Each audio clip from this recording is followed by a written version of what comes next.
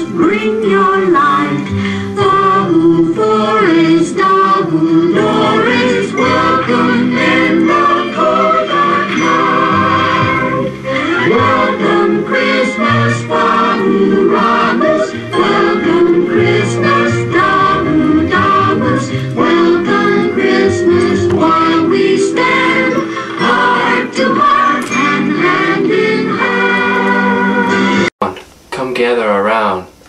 be quiet.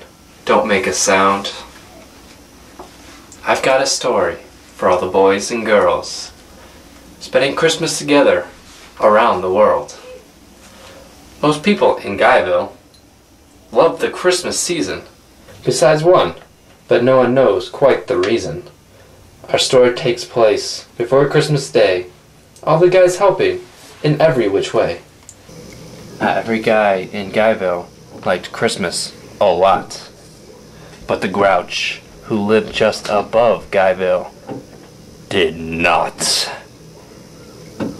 He sat all alone, on his own, upstairs.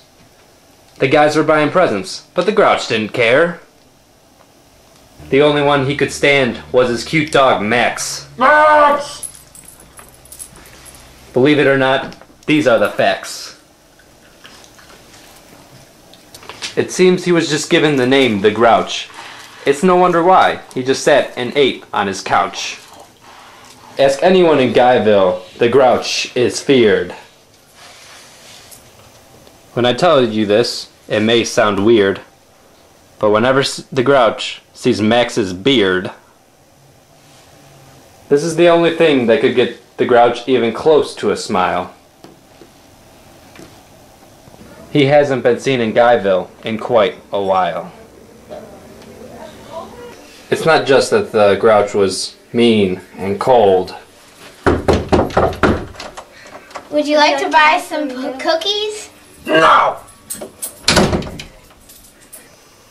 Some guys in Guyville will even tell you he's 60 years too old. Those darn guys! He stared down from the stairs with a grouchy frown at the warm, delighted guys about in their town. He growled with his grouched fingers, nervously drumming. I must find some way to keep Christmas from coming.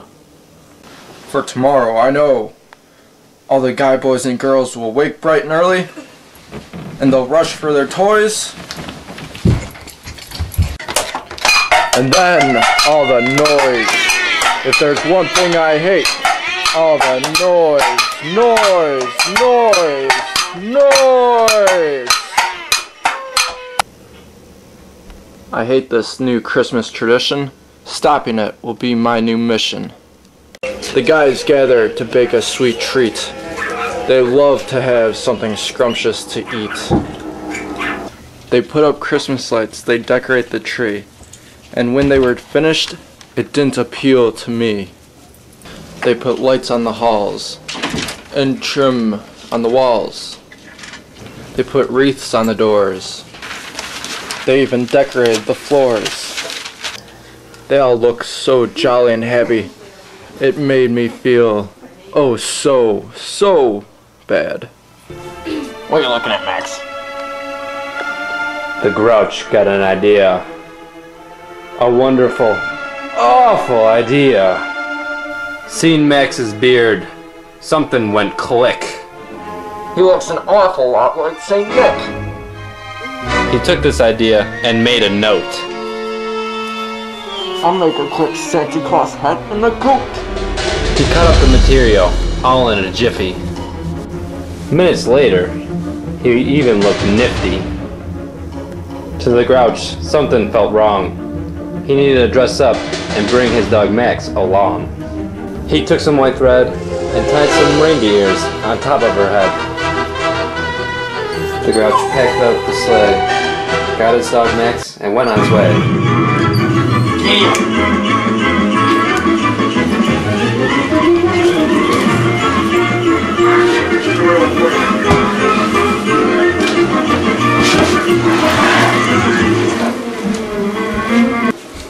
The Grouch went to the icebox like a sly little fox. He opened the door and grabbed more and more. Mr. Grouch. He took anything the guys could fry. He even took their Christmas pie. the Grouch went to the freezer and took the guys' cheeser. He cleaned out the fridge as quick as a flash, hoping to ruin the guys' Christmas bash. The Grouch snuck into the guys' little room, It stinks in here. so he sprayed some perfume. You're a monster. He didn't mean to Mr. cause the guys any harm, but he took did take each warning from under each and every one of their arms. Spiders, you've got garlic in your soul. Mr. Grouch. I wouldn't touch you with a 39 and a half foot pole. You're a vile one. Mr. Grouch.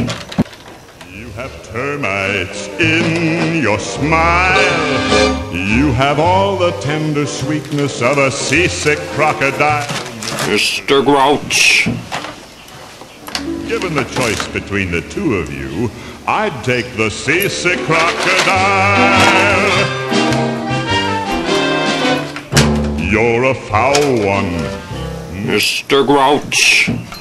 You're a nasty, wasty skunk. The Grouch stole ornaments representing the guy's love, only to stop when he heard a coo from a dove. It was Cindy Lou Who, who was no more than two. Why are you taking our Christmas tree, Santa Claus? Why? But you know that Grouch was so sly and so slick. He thought of a lie, and he thought it up quick. Why, why, my sweet little tot?